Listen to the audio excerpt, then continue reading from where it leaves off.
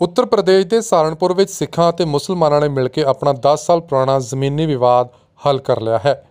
ਇਸ ਵਿਵਾਦ ਨੂੰ ਖਤਮ ਕਰਨ ਦੀ ਪ੍ਰੇਰਣਾ ਉਹਨਾਂ ਨੂੰ ਦਿੱਲੀ ਦੰਗਿਆਂ ਦੌਰਾਨ ਸਿੱਖਾਂ ਅਤੇ ਮੁਸਲਮਾਨਾਂ ਵਿਚਕਾਰ ਭਾਈਚਾਰੇ ਨੂੰ ਦੇਖ ਕੇ ਮਿਲੀ ਹੈ।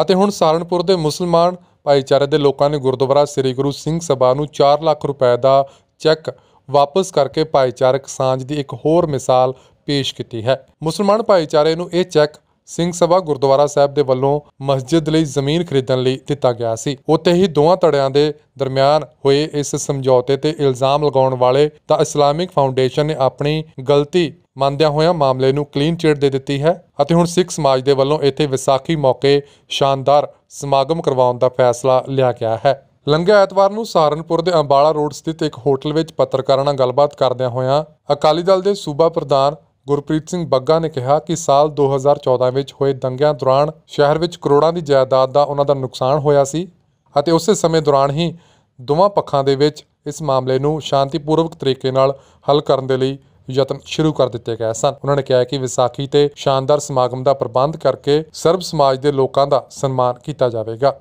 ਇਸ ਮੌਕੇ ਤੇ ਮੁਸਲਮਾਨ ਸਮਾਜ ਦੇ ਆਗੂ ਮੁਹਰਮ ਅਲੀ ਪੱਪੂ ਨੇ ਕਿਹਾ ਹੈ ਕਿ ਇਸ ਘਟਨਾਕ੍ਰਮ ਦੇ ਵਿੱਚ ਨਾ ਕੋਈ ਹਾਰਿਆ ਤੇ ਨਾ ਹੀ ਕੋਈ ਜਿੱਤਿਆ ਹੈ। ਉਹਨਾਂ ਕਿਹਾ ਹੈ ਕਿ ਸਮਝੌਤੇ ਤਹਿਤ ਸਿੱਖ ਸਮਾਜ ਦੇ ਵੱਲੋਂ ਭਾਈਚਾਰਕ ਸਾਂਝ ਦਿਖਾਉਂਦਿਆਂ ਹੋਇਆਂ ਮਸਜਿਦ ਲਈ 200 ਵਰਗ ਗਜ ਜ਼ਮੀਨ ਦੀ ਖਰੀਦ ਲਈ ਉਹਨਾਂ ਨੂੰ 4 ਲੱਖ ਰੁਪਏ ਦਾ ਚੈੱਕ ਦਿੱਤਾ ਗਿਆ ਸੀ, ਜਿਸ ਨੂੰ ਉਹਨਾਂ ਨੇ ਸ੍ਰੀ ਗੁਰੂ ਸਿੰਘ ਸਭਾ ਦੇ ਨੁਮਾਇੰਦਿਆਂ ਨੂੰ ਵਾਪਸ ਕਰ ਦਿੱਤਾ ਹੈ। ਇਸ ਮੌਕੇ ਤੇ ਮੁਹਰਮ ਅਲੀ ਪੱਪੂ ਨੇ ਕਿਹਾ ਹੈ ਕਿ ਗੁਰਦੁਆਰਾ ਸਾਹਿਬ ਦੀ ਇਮਾਰਤ ਦੇ ਨਿਰਮਾਣ ਦੇ ਵਿੱਚ ਉਹ ਖੁਦ ਸੇਵਾ ਦੇ ਵਿੱਚ ਹਿੱਸਾ ਲੈਣਗੇ। ਤੁਹਾਨੂੰ ਦੱਸ ਦਈਏ ਕਿ 27 ਫਰਵਰੀ ਨੂੰ ਹੋਏ ਸਮਝੌਤੇ ਨੂੰ ਲੈ ਕੇ ਦਾ ਇਸਲਾਮਿਕ ਫਾਊਂਡੇਸ਼ਨ ਦੇ ਕੌਮੀ ਪ੍ਰਧਾਨ ਮੁਹੰਮਦ ਅਲੀ ਐਡਵੋਕੇਟ ਨੇ ਗੰਭੀਰ ਇਲਜ਼ਾਮ ਲਗਾਏ ਸਨ ਅਤੇ ਇਸ ਨੂੰ ਪਰਦੇ ਪਿੱਛੇ ਕੀਤੀ ਇੱਕ ਡੀਲ ਕਰਾਰ ਦਿੱਤਾ ਸੀ। ਪਰ ਉਹਨਾਂ ਨੇ ਵੀ ਹੁਣ ਆਪਣੀ ਗਲਤੀ ਸਵੀਕਾਰਦਿਆਂ ਹੋਇਆਂ ਇਸ ਸਮਝੌਤੇ ਨੂੰ ਕਲੀਨ ਚਿਟ ਦਿੱਤੀ ਹੈ। ਤੁਹਾਨੂੰ ਦੱਸ ਦਈਏ ਕਿ ਸਹਾਰਨਪੁਰ ਵਿੱਚ ਸਿੱਖਾਂ ਤੇ ਮੁਸਲਮਾਨਾਂ ਦਰਮਿਆਨ ਰੇਲਵੇ ਸਟੇਸ਼ਨ ਤੋਂ ਥੋੜੀ ਦੂਰ ਤੇ ਮੌਜੂਦ ਇੱਕ ਪਲਾਟ ਨੂੰ ਲੈ ਕੇ ਝਗੜਾ ਚੱਲ ਰਿਹਾ ਸੀ।